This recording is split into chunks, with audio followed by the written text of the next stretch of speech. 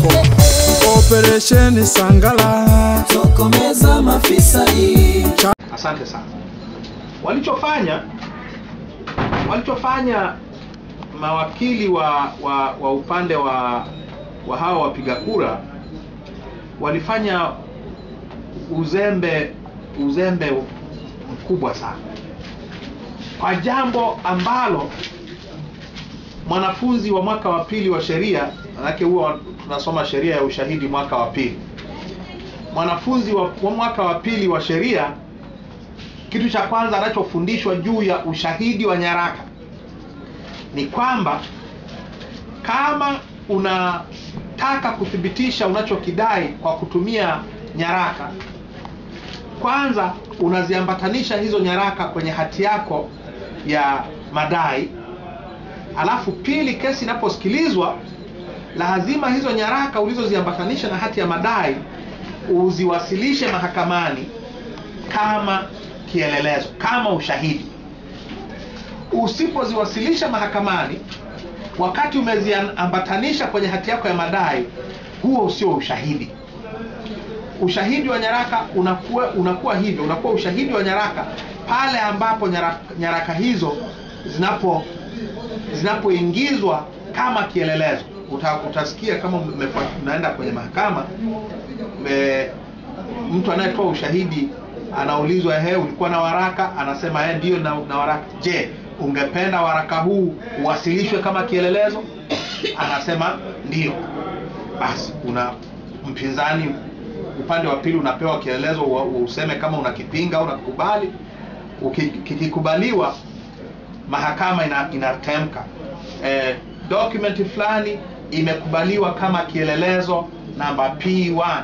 P1 ni ya upande wa mashtaka, D1 ni ya upande wa wa utetezi.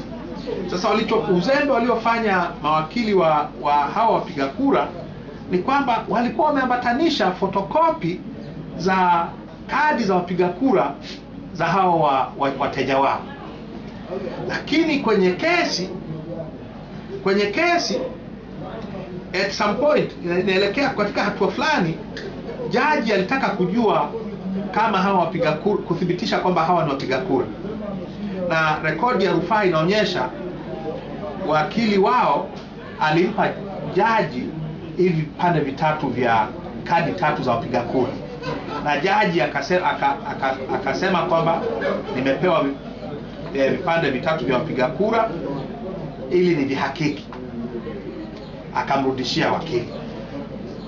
Kwenye kusikilizwa kesi zile zile fotokopi zilizotokana na hizi kadi tatu za wapiga kura hazikuwasilishwa kama kielelezo.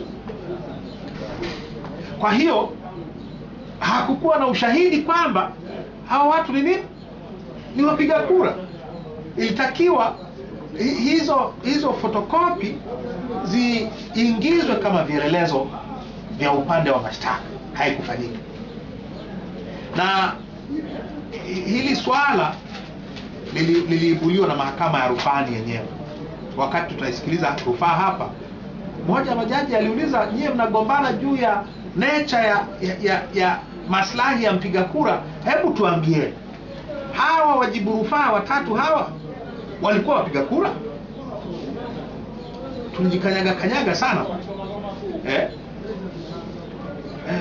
Eh, wakasema nani, nakumbuka wakili mwenzangu Kimomogoro alisema yeye walikuwa wapiga kura.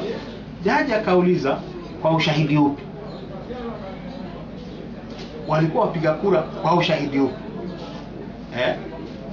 Wakili wao akajitetea tetea pale, oh, hiki tulionyesha kadi mahakama kura.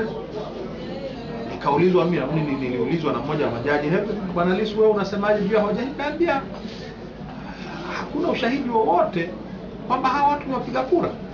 Ushahidi ulitakiwa uingizwe kama kielelezo, haukuingizwa. Kwa hakuna proof, hakuna uthibitisho wowote kwamba hawa watu ni wa, ni wapiga kura, na kama hakuna uthibitisho kwamba ni wapiga kura, maana yake ni kwamba hawakutakiwa kufungua kesi, kwa sababu kesi zinafunguliwa na watu waliokuwa wapiga kura au watu waliokuwa na haki ya kugombea au watu waliogombea au na mwanasheria mkuu wa serikali. Sasa mahakama kuu, uamuzi wa leo imeanzia kwenye kwenye kwenye hiyo hiyo hoja kwamba hawa watu hawakuwa wapiga kura, hawakupaswa kufungua kesi. Na hoja ya pili ambayo wame, wame, ilikuwa hiyo ilikuwa ya kwetu ni hii ambayo nimeielezea kwa kirefu kidogo.